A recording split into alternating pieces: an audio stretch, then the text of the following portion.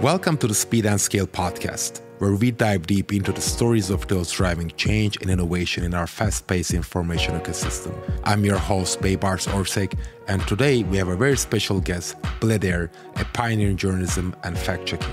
Bill Adair is best known as the founder of PolitiFact, an acclaimed fact checking website that has become an indispensable resource for verifying the claims of politicians and public figures. With a career dedicated to upholding facts in political discourse in the media, Bill's work has had a profound impact on the landscape of journalism, introducing fact checking to media and political discourse while encouraging many to get into the practice in different parts of the world.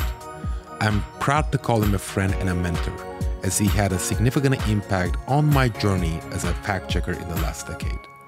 Today, we'll explore Bill's Didino fact checking journey into journalism and his insights into the future of the practice, most recently embodied itself as a call to action for the community in his piece for the Nieman Lab, where he suggests that fact checking is failing and it needs a reboot. So sit back and prepare for a thought provoking conversation with one of the most influential figures in modern journalism, the Dean of Fact Checking, the founder of PolitiFact, and the director of Duke Reporters' Lab.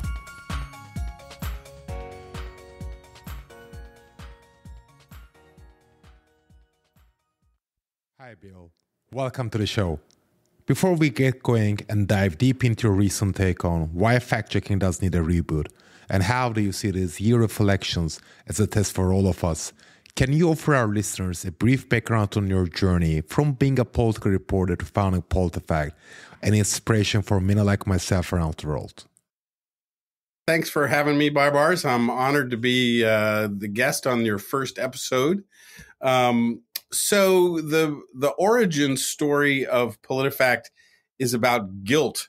Um, it's about my guilt when I was the Washington bureau chief of the St. Petersburg Times, the newspaper that is now the Tampa Bay Times, and and I felt guilty that I was not doing enough to fact check the politicians that I covered in Congress and the White House. And so I went to my editors in 2007 and I said, hey, instead of covering the 2008 presidential campaign in the traditional way that we normally do, let's start a fact checking website. And they were supportive of that. Um, I was just talking to one of them a few minutes ago uh, who was here in our hallway, uh, Paul Tash, and he reminded me that one of the keystones to our idea was that we keep it light, that we not um, be too serious, that we not be boring. Um, and that appealed to me um, because I'm not too serious. Um, and I uh, and I think one of the things I like about journalism is to simplify complex things. And so fact checking was perfect for that. So um, so we launched in August of 2007, and PolitiFact is still going strong today just remarkable. Um, I, am interested in your take on how do you think the technology has changed in the last 17 years since the launch of PolitiFact, and what are the the milestones that you see in this particular era where we saw a tremendous amount of growth and fact checking and the tactics around combating misinformation has changed. What is your overall take on the differences between the early days of fact checking and where we are today, right now, with the speed and the scale of the problem that we have? Fact checking is different than other kinds of journalism because it has archival value that lasts a little bit longer. So if you think about a typical news story, it's valuable now. You know, it's the news. Um, we know what's happening now. But a fact check is valuable for a longer period of time because people want to know is that true? Is that thing that I keep hearing true? So a fact check that we do today still has value in a week or two weeks. And it also has value in a different way. And this was one of PolitiFact's innovations.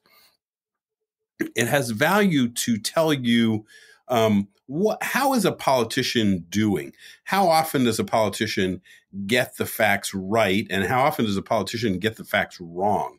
And so that is valuable. And from the start, I think we realized at PolitiFact that it should that the content should be structured like data. And this was, I think, part of the innovation of PolitiFact. Um, partly my idea, but also the brilliance of a guy named Matt Waite, who was a data journalist for the St. Petersburg Times, now is a faculty member at the University of Nebraska. And so that now today is what a lot of fact checkers are doing, thanks to something that we've done here at Duke, which is share that concept um, through a data standard called ClaimReview.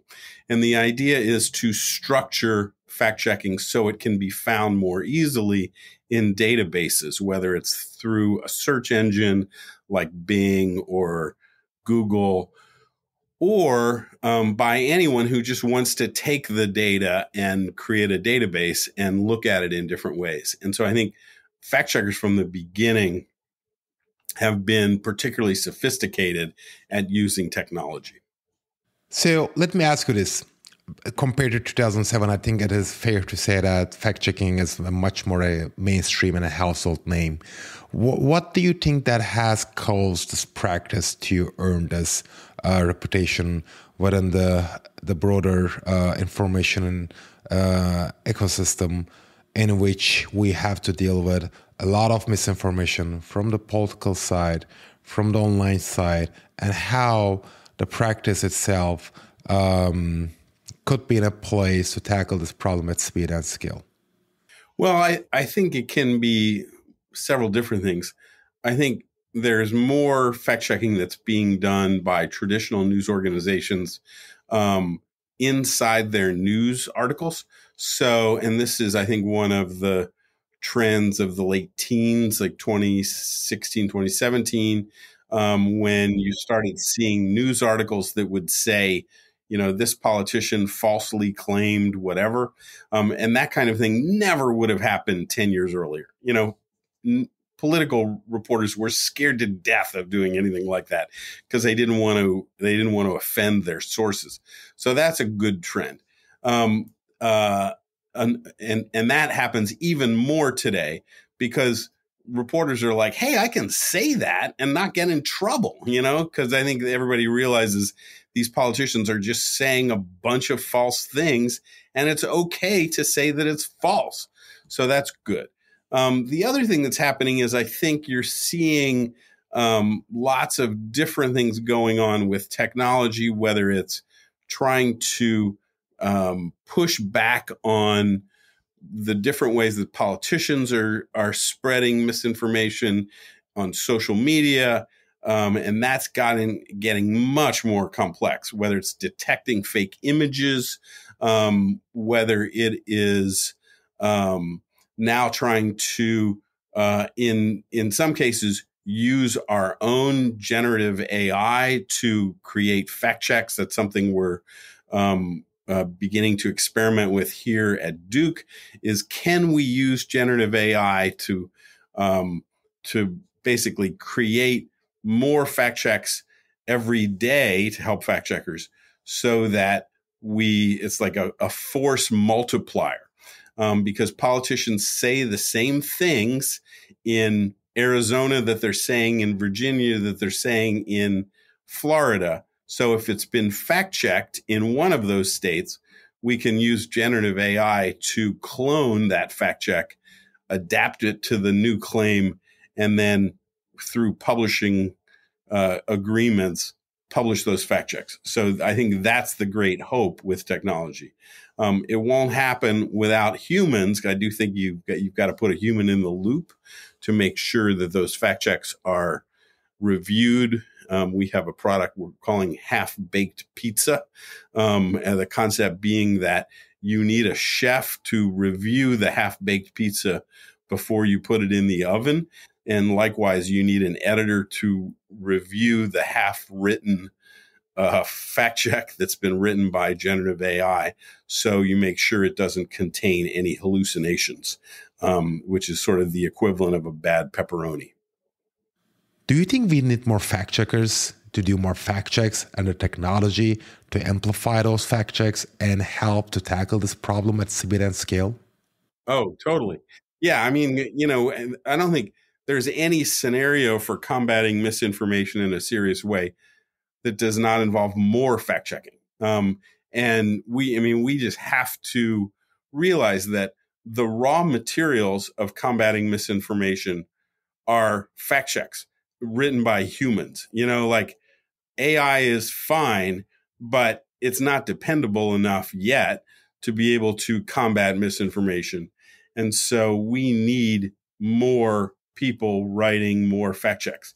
Now that, you know, that's like uh, a friend uh, used to say, you know, of course, Bill's going to say that when you're a hammer, everything looks like a nail, you know, but, but really, like, I, I do think we need more fact checkers doing more fact checks. We did a report um, this past year um, here at Duke uh, called Fact Deserts. and it looked at the likelihood that an American politician, um, other than, so forget like presidential candidates, of course, they're getting fact checked a lot. Um, but how often is a state legislator fact checked? How often is a member of the House of Representatives in Congress Fact check. Answer hardly ever. And so, um, uh, governors hardly ever fact checked. So, you know, these guys can say anything they want and no one holds them accountable. Well, we need journalists to do that. And so our report showed the frequency of this, which was frightening. Um, so we need more journalists to be holding politicians accountable for what they say. Speaking of accountability, I think it's fair to say that you also offer a layer of accountability for fact checkers. Um, as a practice that has been um, under the spotlight for a very long time, I think the, the, the, the, community is very fortunate to have you ring the alarm bell in your last piece uh, um, that you wrote for the Nieman Lab uh, earlier in the December. I, am just like you know curious to hear from you your reasoning behind um, your suggestion that fact checking is failing and it needs a reboot um, and not necessarily to put like a verse in your mouth, but I think you do that from uh, uh, from the perspective of like you know the communication of the work of fact checkers. Uh, but can you provide a little bit of like you know uh, reasoning on your um, call to action um, and ways in which the fact checkers should reboot their work? So you know, um, we we really are still publishing the way that we published fact checks 20 years ago. Um, the way that factcheck.org, factcheck.org published 20 years ago, putting stuff on a website and waiting for crazy Uncle Bob to come to the website to read it. Well, hey, newsflash, crazy Uncle Bob is not coming to fact checkers' websites to find that he's wrong. Um, so we've got to find out a way to get to crazy Uncle Bob and so I think we need to be much more willing to work with behavioral scientists and look at how people are consuming information and consider different kinds of partnerships and creative ways to package fact checks. Um, here's a wacky one. Um, uh, we've talked about, and I and I this is probably way out there, but it's the kind of thing that takes the fact check to the person. Um, we've mused about hey, why don't we um, put fact checks on um, uh, on television on video screens at gas pumps? Um, you know, that's a screen. You could do a short fact check segment, put it there. No, you know, that's a place where everybody fills up their tank um, who doesn't have an electric car. And that's a way that um, you could um, target people who are not seeing fact checks other other ways. And I think we need to think, and and maybe that's too extreme, and maybe that's too in your face. But I think we need to think about creative ideas like that that are that go beyond waiting for Uncle Bob, who you know has some wacky COVID theory or whatever, to come to a fact checking website because it's not happening. Um, and and so and we know from um, from just following um, people's habits the the people who need the corrections are not going to seek out um, fact checks that tell them they're wrong, and so they're not coming to the fact checking websites. And so it's wonderful that we're putting it there as a archive, but it's not getting to the people who need it. Then let's say, for the sake of the argument, that we solve the the distribution, uh, the circulation problem. We make fact checks available to more people. Uh, what about the production side of things? I mean, we you know said we need more fact checks. You constantly remind the importance of doing more fact checking. Um, what would be the role of like automated fact checking or generative AI? And more particularly, I mean, what do we need to understand from automated fact checking in the age of AI and the role of AI um, in, in, in our um, efforts to tackle misinformation? Well, I think that's changed. You know, if you asked me about automated fact checking five years ago, it would be um, more like an appendix to a to content. It would be more like, hey, by the way, that thing that he just said, you know, that may not be true. Um, and and now I think um, I think we need to. Um, I guess I'm more focused on using it to generate a greater mass of fact checks and get it to um, a um, broader audience and to create more and more fact checks. But you know, think about it. You can um, you can use generative AI to do lots and lots of things. You can use it and write in different voices. You can generate customized newsletters. You can um, write in different kinds of tones, you know, and so you could theoretically just say, okay, here's a fact check, write it for this kind of person, um, and try to make it more appealing. Um, that would be along the lines of what the American Press Institute did about five years ago with an interesting experiment where they showed that the way that journalism is written can change its appeal to different kinds of audiences. So we could try that. Um, there's just been no experimentation in this area to speak of.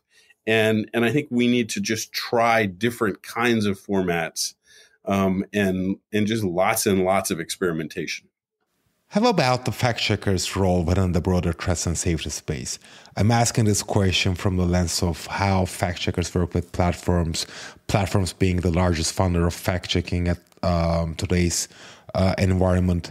Um, do, do, you think fact checking has a larger role to play within the broader uh, regulatory and um, practical trust and safety um, environment in which uh, the platforms are one of the largest uh, industry stakeholders at the same time uh, being the larger funder of the practice? Yeah, um, I think I think it's too easy for the fact checkers to just sort of wait for the platforms to say, okay, well, here's what we're going to pay you, um, sign on the dotted line. Um, I think the fact checkers should get more involved with universities in testing different kinds of things. Um, I, but I think there needs to be a shift in their mentality.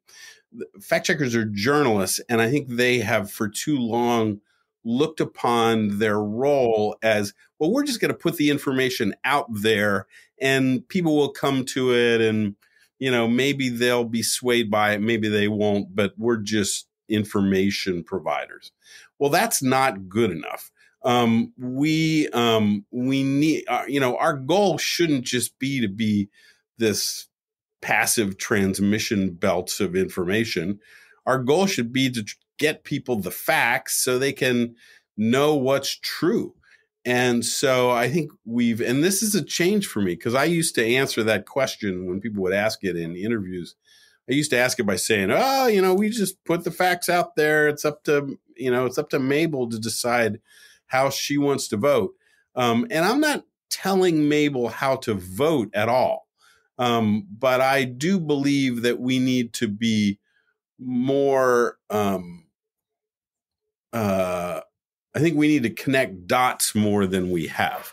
Um, you know, like on um, uh, on some of these bigger issues, I think we've been very clinical and sort of said, well, this thing's wrong and that thing's wrong. And we haven't said, hey, put all these things together and what's going on.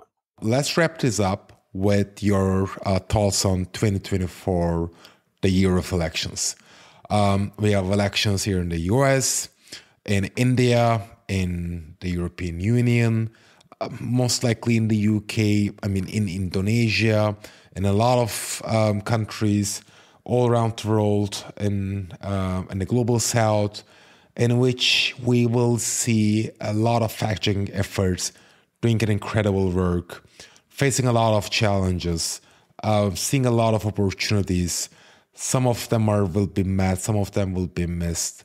What will be your ambitions in, as far as um, the fact checking in 2024 accomplishing um, some of the goals or meeting some of the expectations? we, we used to have a joke at PolitiFact um, uh, that, and I would often say this in election years, but not just in election years. I would say it's the year of the fact checker. Um, and you know, like in and after a while, people were like, "Didn't you say that last year?" Um, and didn't you say that the year before? Um, it was like, yeah, yeah, yeah, but it's it really is this year. Um, and so, you know, this year it's going to be the year of the fact checker. Um, and and I I think that I'm right actually because misinformation just seems to find new ways to spread faster, sneakier, um, and politicians seem to be much more willing to spread falsehoods than they have in the past. So, um, so I do think when we look back on this year, um, I think we will say, um, boy, there was an awful lot of really important fact checking. One key to that, fact checkers have to do a better job telling their story. Um, journalists tend to be modest and they don't tend to do a good job telling their story. And I think this is something that we really need to do better. I think the IFCN needs to take the lead in doing this and individual fact checkers need to do better. But I think when it's all done, I think we'll look back on this year and we'll say 2024, it was the year of the fact checker. Bill, it's been incredible to have you on the show. Thanks a lot for being here with me today to cut the ribbon. Um, it is just always a treat and a pleasure and an honor to share a conversation with you. Thank you so much. Thank you so much, Baybars. It was great to be on the show. Thank you for tuning into the Speed and Scale podcast. Every week, I chat with my guests on the battle against misinformation, try to highlight the tireless efforts of fact checkers, technologists, experts, researchers, regulators, and the trust and safety teams across digital platforms, showcasing the critical work to safeguard facts and accuracy in our information system. Don't forget to subscribe and connect with me on social media. Until next time.